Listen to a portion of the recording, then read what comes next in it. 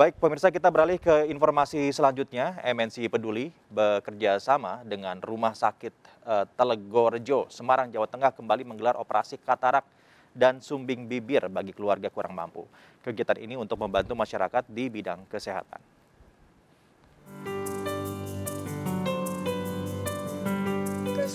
Tangis Iis Rutiasih tak terbendung menahan haru. Air matanya terus bercucuran sembari berulang kali mengucap syukur. Penglihatannya yang semula buram karena katarak kini telah pulih.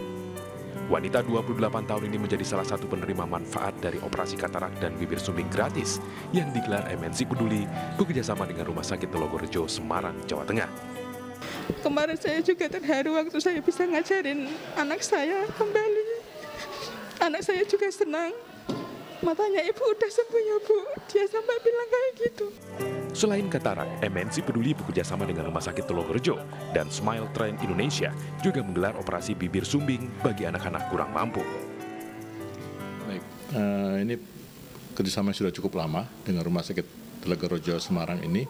Sudah dimulai dari tahun 2008, artinya sudah lebih dari 15 tahun ya kita kerjasama dengan Telogorejo dan yang kita kerjasamakan berbagai macam uh, penyakit di sini. Sudah membantu banyak orang, mulai dari pasien yang katarak, hernia ya kebanyakan itu juga bibir sumbing. Operasi katarak dan bibir sumbing yang digelar MNC Peduli bersama Rumah Sakit Telogorejo telah banyak membuat masyarakat sembuh dan kembali tersenyum bahagia. Dari Semarang, Jawa Tengah, Taufik Budi Nur Cahyanto, iNews melaporkan.